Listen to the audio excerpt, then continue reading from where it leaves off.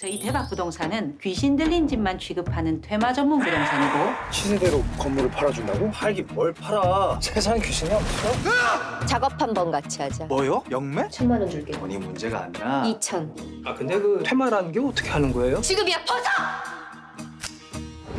어, 야! 어, 야, 왜, 왜, 왜 계속 와? 가만히 좀 있어! 버텨봤자야 서로 힘 빼지 말고 빨리 끝내자. 넌 특별하니까.